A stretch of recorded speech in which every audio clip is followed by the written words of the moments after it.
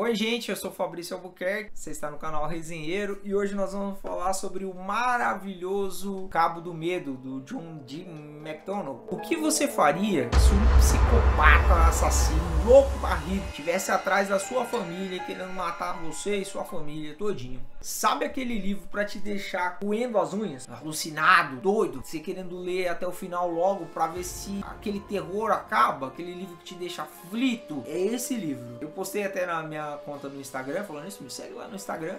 Um rios pequenininho lá falando, falando disso, que eu fiquei apaixonado por esse livro. Apaixonado. Porque é um livro que você começa a ler e ele, é, é aquela coisa da tensão crescente, sabe? É um livro que funcionou demais para mim, assim, que você fica empolgadíssimo com a leitura. Eu fiquei empolgadíssimo com a leitura. A forma do John McDonald escrever, a princípio, me deixou assim meio é, meio ressabiado, falei assim, não sei se vai dar certo, não sei se nosso relacionamento vai dar certo, tá entendendo? Bang on the wall, say, McDonald, McDonald, McDonald. I have to go running down and give me back my rejected manuscripts. Uh, Teal prints, I could erase those. Mas conforme a leitura foi seguindo, o negócio bombou, velho, bombou na minha mente, assim, minha mente, bum. Eu já tinha visto o filme. Esse livro ele já recebeu duas adaptações para o cinema, uma delas lá na década de 60 e o outro agora na década de 90. Dirigido por Martin Scorsese e tendo no seu elenco ninguém mais ninguém menos do que meu, um dos meus atores favoritos, o Robert De Niro, no papel do vilão Max Cad, que ele rendeu inclusive uma indicação ao Oscar. Então veja lá o, o filme. O filme, por se tratar de uma adaptação, é lógico, ele foge algumas coisas do livro, mas hoje eu quero falar do livro, porque o livro, meu Deus, o livro é top. O filme é legal, da hora, mas o livro é demais. O livro conta a história de um ex-soldado do exército americano que, ao servir na Austrália, um dia ele estava voltando pro quartel lá e tal, e ele escutou num beco um gemido de uma, uma garota e tal. E ele foi ver e essa garota estava sendo violentada, estava sendo estuprada por outro soldado. Esse outro soldado era ninguém mais, ninguém menos do que Max Cad. Passou uma moto bem agora, que merda. E esse Max Cad, ele foi indiciado então, e o Sam Bolden, que é esse soldado de quem eu vos falo, ele foi testemunha-chave nesse julgamento e levou o Max Cad à prisão perpétua e aos trabalhos forçados. Esse cara ficou preso por 14 anos, planejando então a sua vingança planejando como é que ele ia se vingar desse cara que ele julgava que tinha sido culpado dele ter sido preso e condenado à prisão perpétua. E claro que não teve nada a ver com o ato cruel dele de ter estuprado a menininha lá. Não, a culpa foi do, do Sam Bolden. Sam Bolden, Sam Bolden, Sam Bolden. Sam Bolden. Você vê, né? Parece que o livro é uma história brasileira. E ele sai então da cadeia e ele vai atrás do Sam Bolden. Sam Bolden, Sam Bolden, Sam Bolden, Sam Bolden. E da sua família. Ele vai parar lá na cidadezinha lá onde eles vivem e passa a aterrorizar então aquela família, ameaçando aquela família, perseguindo aquela família. Família essa que é uma família, é, é tipo aquela família de comercial de margarina, manja? Tem de café da manhã, mãe. Tenho que tiver na geladeira para você fazer, Gustavo, porque eu não sou tua empregada. Tudo certinho família feliz, esposa que ama esposo, esposo que ama esposa, três filhos lindos. E o primeiro encontro deles já é algo muito marcante, assim, que já instiga aquela aquela aflição assim, porque ele fala assim: "Nossa, você tem tudo e eu não tenho nada, né? E eu não tenho nada por sua culpa". Ele, em outras palavras, o Max Cad faz o Sam Bolden, acreditar, né? E aí ele passa a ameaçar e fala: "Eu quero colocar você em pé de igualdade". Já ameaça o cara ali, já mete o louco no cara. E uma das coisas mais interessantes desse livro é que normalmente você vê algumas atitudes em, algum, em alguns personagens de livro que são atitudes estúpidas, idiotas você fica louco de raiva do personagem, porque o personagem fala, ah. Às vezes você precisa até entender que o personagem é idiota para você conseguir ler a história. Falar, eu nunca faria uma coisa dessa, mas o personagem faz. Mas nesse daqui, o, o Sam Bolden, Sam Bolden, ele decide contar pra mulher dele, decide contar pros filhos dele tudo que tá acontecendo, que teve o cara, que o cara foi incriminado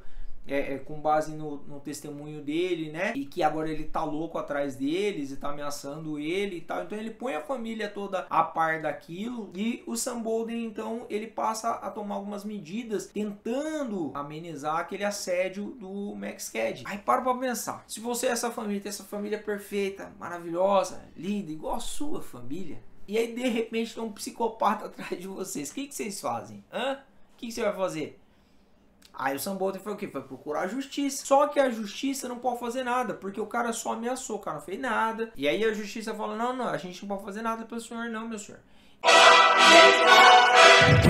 O, o Sam, ele é advogado. Como advogado, ele acredita nas leis, ele acredita que, a, que as leis vão amparar ele, que as leis vão defender a família dele. Só que aí quando ele procura a polícia, a polícia já se mostra inoperante. A polícia mostra para ele que não, não, é bem assim, que é, a polícia vai, vai ser reativa. Se e somente se o, o Max Cad fizer alguma coisa, é que eles vão poder fazer uma coisa. Vai, vai esperar matar meu, alguém da minha família, precisa fazer alguma coisa. E aí até acontece uma coisa que eu não vou contar, porque é spoiler, e eu não sou de entregar spoiler. Vocês sabem que eu não dou spoiler nenhum aqui.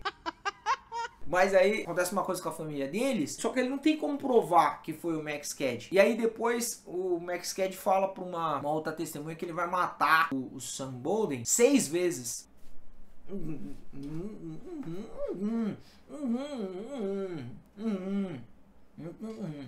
Não vou contar. Mas enfim, o que, que o, o Sam Bolden então decide? Ele decide esconder a família. Vamos esconder a família, vamos tentar até esse cara maluco desistir. Só que ele diz que ele desiste, meu amigo ele não desiste. E fica aquela coisa assim, aquele conflito, por quê? Porque uma parte dele, um lado dele, quer muito defender a família com unhas e dentes. A Carol, a, a, esposa dele, principalmente, vira tipo uma leoa. O livro ele traça muito essa analogia de selva, daquela, daqueles instintos assim, porque Vivendo em sociedade, você espera que as leis prevaleçam, que a ordem prevaleça. Então, quando aparece alguém que é totalmente desvirtuado e totalmente desapegado às leis e à ordem, então o, o instinto é, vamos dizer assim, primitivo do ser humano, ele impera. E no caso de, de Sam e Carol, como de repente um animal caçado, ele toma uma atitude então de fugir, de se esconder. E aí começa aquela coisa meio de, de, de da caça, sabe? A caça e o caçador. Um animal feroz está na selva, está louco para atacá-los e aí eles se escondem. E aí o livro ele vai nessa caçada, nessa busca incessante do, do Max Cad de, de conseguir a sua vingança, de atacar e da família de se esconder, de se proteger, de fazer alguma coisa para não é, para não ser atingido por ele. Cara, o Max Cad, ele é um puta de um vilão, baita de um vilão. É um, é um vilão top, velho, top. Sabe aqueles vilões assim que você fica ah, morrendo de raiva do cara? Que ele é um psicopata, ele é um doido. Para pra pensar, um cara que ficou 14 anos na, na cadeia só matutando, só maquinando como é que ele ia fazer, o que ele ia fazer para conseguir a vingança dele, para conseguir colocar é, na, na cabeça louca dele, em pé de igualdade o, o Sam Bolden com, com ele, entendeu? Porque ele acha que é, o, o Sam Bolden, que é responsável por ele ter ficado 14 anos na cadeia. E quando ele sai, ele sai uh, feito um, um animal arisco. Num determinado momento, vou entregar só uma coisa assim, uma coisa assim. That's not a spoiler. That's not a spoiler. Uma das coisas que Sam Bolden faz é colocar uma agência de investigação particular para ficar no rastro dele, para ficar vigiando ali os passos dele, para entender o que, que ele quer fazer, o que ele não vai fazer. O cara descobre quem é os detetives e ganha toda a história e desmascara toda a agência, ela quebra a agência de investigação e ele fala, caramba, mano.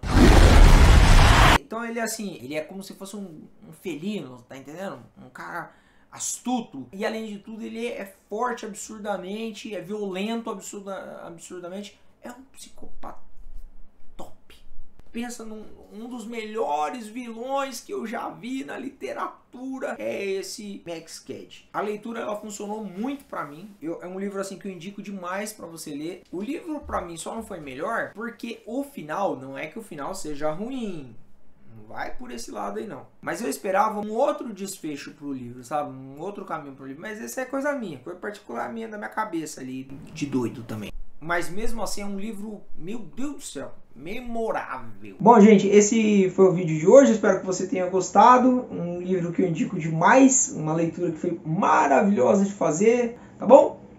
Beijão para você, fica com Deus, até a próxima. Tamo junto.